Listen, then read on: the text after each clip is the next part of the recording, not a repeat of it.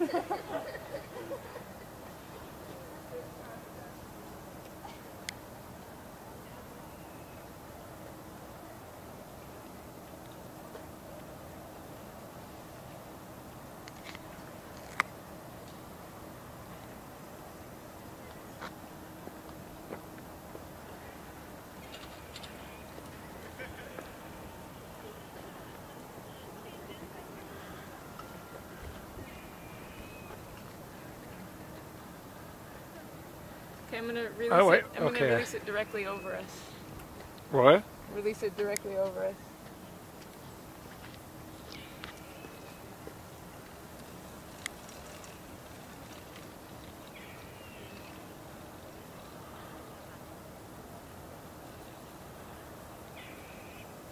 Oh, now that there is no wind, it goes straight up. Yeah.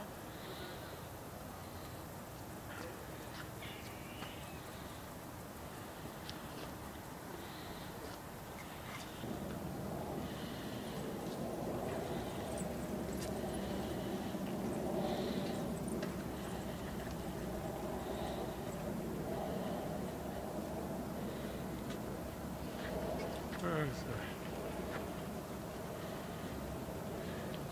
Okay, so this is the turbine without any support, so it's not leveled and it's really swinging. And we will have to stabilize it once it's airborne.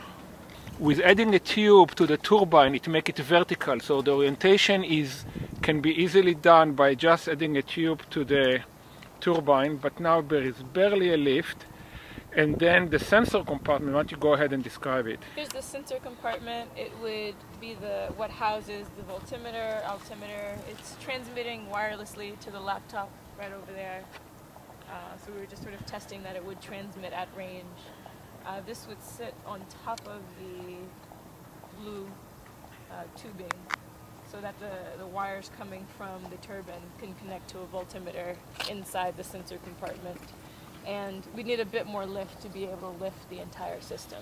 So right now, we I think we have probably 17 or 18 balloons, and we probably should have um, at least 25 or 30, so we have a good lift and stable.